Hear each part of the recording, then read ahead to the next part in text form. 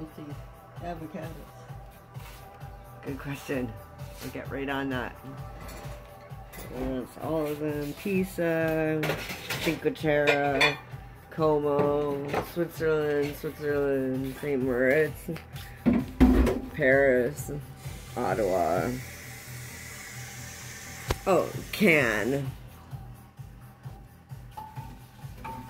After Pisa. And Saint Tropez further down. And Lake Maggiore, which is up here near Como. So that's Lake Maggiore.